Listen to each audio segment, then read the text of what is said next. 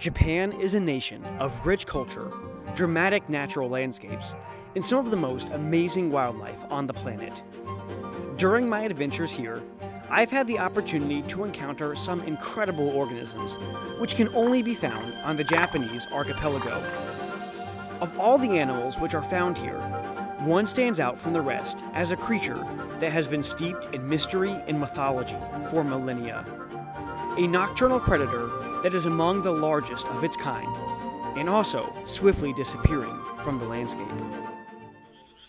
To find a giant, we are collaborating with Sustainable Daisen, a local nonprofit organization which is using research, education, and land conservation to ensure a brighter future for these incredible organisms. Richard Pearce, the director of Sustainable Daisen, has agreed to let me join him on a nocturnal survey. Yeah, the first time I saw one was in the daytime actually. A strange thing happened and I've witnessed it a few times. I saw it and then it was in the center of the river and then it turned and it came back and it swam through my legs and that physical contact like locked me in. I was like, right, I'll start this, uh, you know, eco tour to really tell people about what's going on with the salamanders and give them a chance to see it and feel as inspired as I was at that moment. Our goal is to try and locate and mark the GPS location of giants, as well as capture a clear photo of their head so that they can be individually identified and potentially subject to biometric sampling at a later date. Okay, right here we have the first animal of the night. Not a salamander, but a cool animal nonetheless.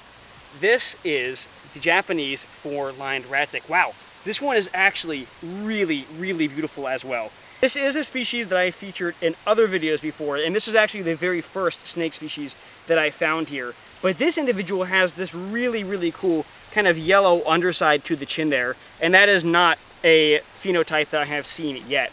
Now, of course, they're called four-line rats because of these four dorsal stripes that run down their body, so that's a really easy way to identify them. And then if you get close enough, you'll notice they also have this facial stripe right behind the eye. I think that looks really, really neat. These act almost like racers do in North America.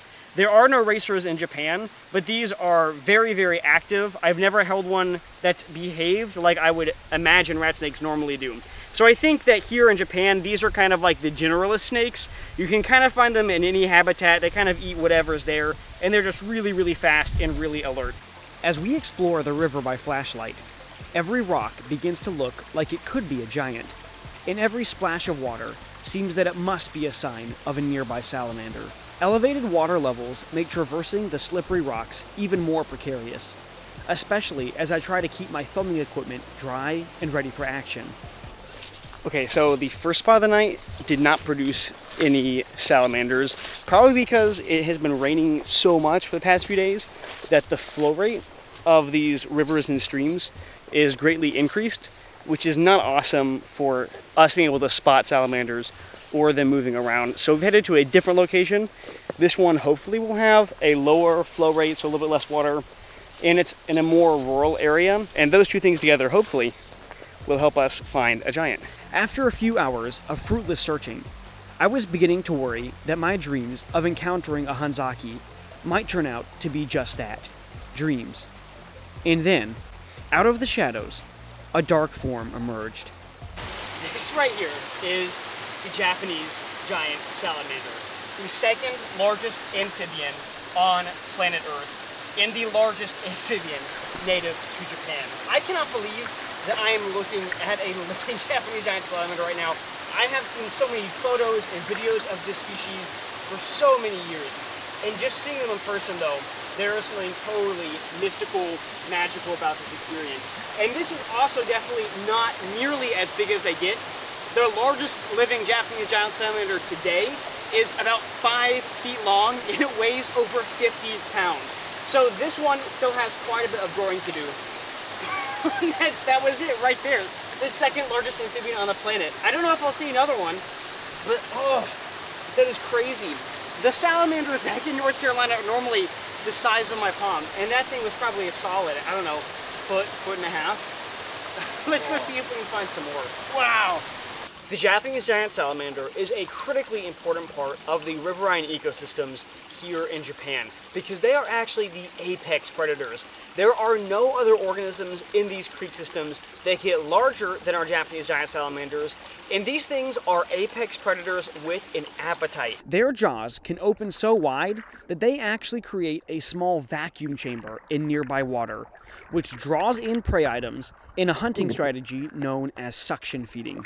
My first encounter with a Hanzaki was remarkable, but it dove into deep water so quickly that we were unable to capture a clear ID photo of its head. We decided to press on further upstream and try to accomplish our mission. There is a larger individual right down here in this tiny little irrigation channel actually. Now this one is probably a solid two, two and a half feet long, making it by far the largest salamander I have ever seen in my life. And you'll notice that the whole body of the salamander is dorsally compressed. And the reason the body is dorsally compressed is it lets the salamander kind of wedge itself into these rock crevices. And that's where they'll ambush prey from, and that is where they'll make their den sites. Now, Japanese giant salamanders, as fully aquatic salamanders, have two methods of respiration available to them. They can gulp air at the surface of the water, or they can perform cutaneous respiration, which is gas exchange through their skin. Okay, he's going under the, oh, oh my gosh! So, oh, look at that! That is incredible. Their eyes are so tiny that they are essentially vestigial, providing little more than light sensitivity to amphibians which hunt almost entirely by touch and scent. In a manner similar to fish, these salamanders have a lateral line of sensory nerves located on their side, allowing them to detect what's going on in the water around them even in total darkness, which is highly convenient for a nocturnal predator. Oh, it's just sitting there. Yeah. Is stuff, it trying to get up? No, the stuff drops down. Oh, it's ambushed. Yeah.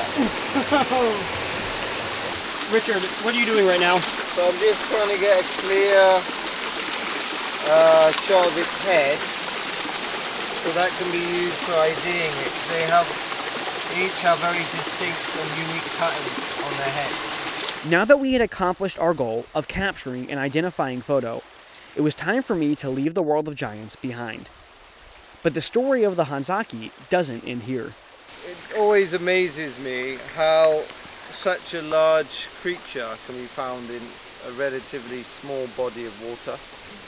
Uh, they completely dominate their habitat.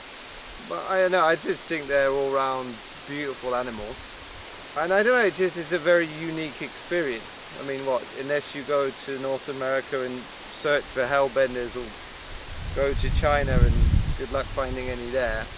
So it's, um, it's a pretty special wildlife experience. And the real problem for the Japanese giant salamander is the actions of the government. The building of dams, the straightening of rivers, and then the building of weirs within these straightened rivers to slow down the water once it's been sped up, you know. And I kind of felt, feel a responsibility to do something for them because um, they're in a lot of trouble. Thankfully, Richard and the rest of the team at Sustainable Daisen are doing everything they can to ensure a brighter future for these salamanders. And if you want to be a part of their mission, you can check out their website right now at sustainabledaisen.org. Together, we can work to ensure that these living legends remain a part of Japan's ecological and cultural landscape for years to come, where they will continue to remind us of the wonder and mystery that is just waiting to be discovered in this amazing world that we call home.